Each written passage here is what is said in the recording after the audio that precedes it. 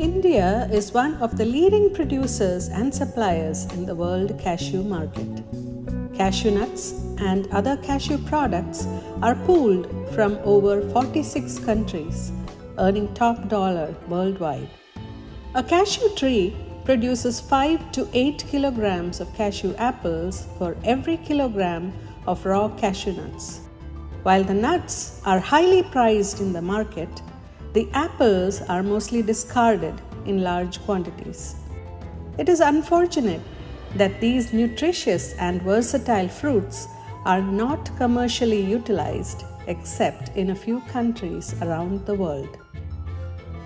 In India, cashew apples are widely used in the state of Goa for the production of the traditional drink known as cashew apple feni which contains up to 42% alcohol. Field workers sometimes consume the apples while working in the field during harvest season. Although the apples are juicy and fragrant when ripe, their strong astringency limits wide consumption. In the coastal state of Kerala, cashew apples are used in many traditional delicacies such as sweet toffees, halwas, and other culinary preparations.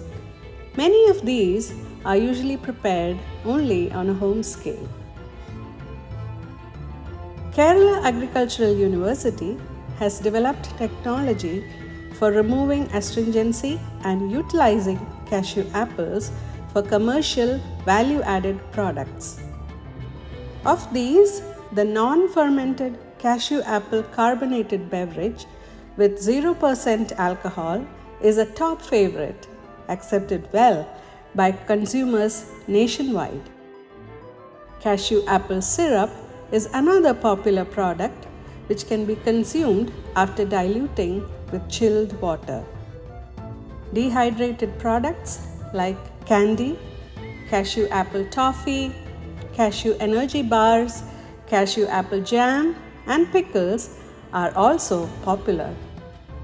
The technologies for production of these commercial value added products can be availed from the Kerala Agricultural University based on a memorandum of understanding.